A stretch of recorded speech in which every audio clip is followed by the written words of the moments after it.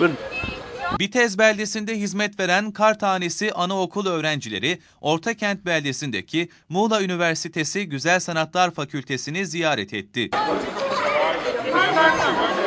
Minik öğrenciler üniversiteli ağabey ve ablalarından üniversite hakkında bilgi alarak üniversitenin bölümlerini gezdiler.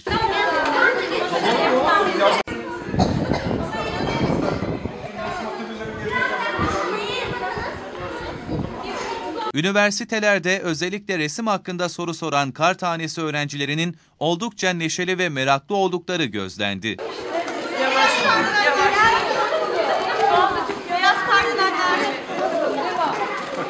Üniversite öğrencileri de minik kardeşlerine yakın ilgi göstererek sordukları sorulara içtenlikle cevap verdi.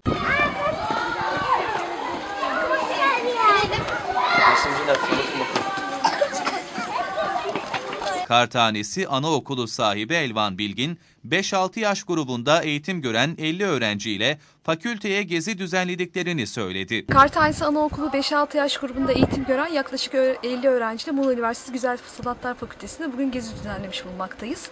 Amacımız burada çocukların fakülte ortamında atölye çalışmalarını görmeleri, e, buradaki Güzel Sanatlar Fakültesi'nde okuyan öğrencilerle birlikte ortak etkinlik yap- yapmalarıdır.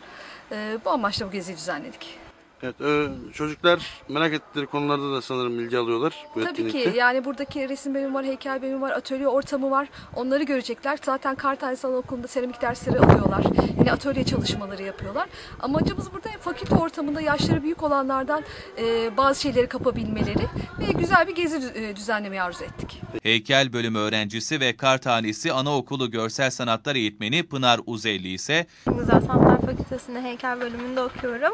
Ee, aynı zamanda Kayıthane Anaokulu'nda e, çocuklarla cuma günleri çalışmalar yapıyoruz birlikte. Resim, işte farklı malzemeler ve farklı disiplinler kullanarak.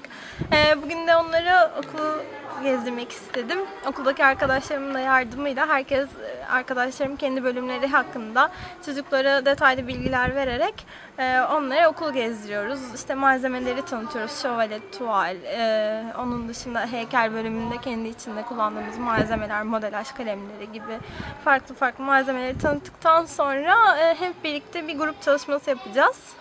E, büyük resim kağıtlarının üstüne biz e, bizim okulumuzun öğrencileri ben ve benim arkadaşlarım ve çocuklar hep birlikte büyük kağıtların üstüne büyük resimler e, birlikte bir grup çalışması yapacağız.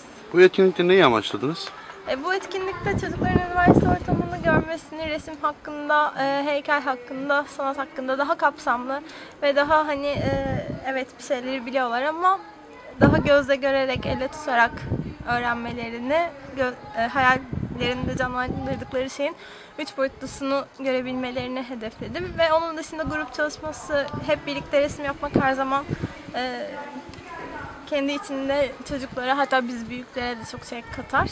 O yüzden bu en sonunda yapacağımız büyük kağıtların üstüne büyük resimleri de e, birlikte resmi de bunun için.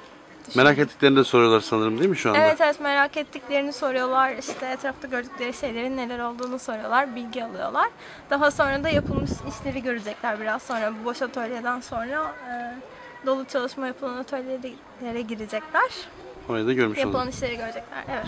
yaklaşık 2 saat üniversitede kalan minik öğrenciler, üniversite öğrencileriyle birlikte resim ve heykel yapma fırsatı buldular. Hangi malzemeleri kullanıyorsunuz resim yaparken? victoria.